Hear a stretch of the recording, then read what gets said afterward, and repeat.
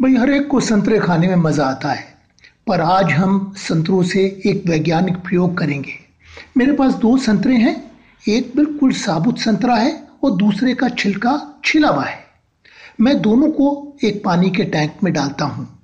जो साबुत संतरा है, वो तैरता रहता है और जो छिला हुआ है, वो डूब जाता है।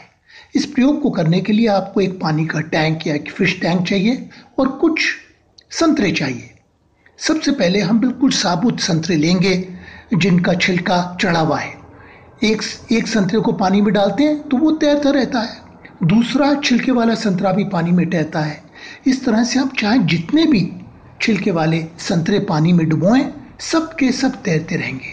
इसका एक मतलब ये है कि साबुत संतरे का घनत्व पानी से कम है, इसलिए वो पानी पर तैरता है। अब मैं एक संतरे के छिलके को हटा दूँगा। ये काम बहुत ही आसान है। इस बात का ध्यान रखें कि संतरा साबुत रहे, उसकी फांके ना हों।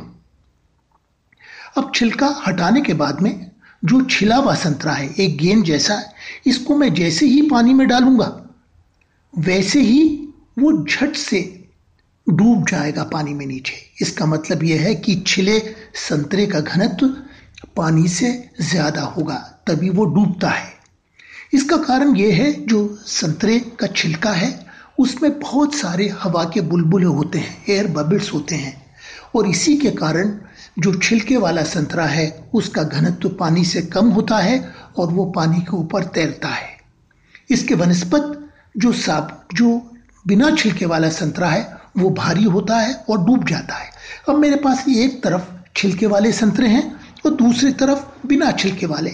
सारे छिलके वाले संतरे पानी में, पानी के टैंक में तैरते रहते हैं, क्योंकि उनका घनत्व पानी से कम है। दूसरी ओर, जब मैं बिना छिलके छिलके उतरे संतरों को पानी में डालता हूँ तो वो एक एक करके सभी के सभी पानी के पेंदे में डूब जाते हैं।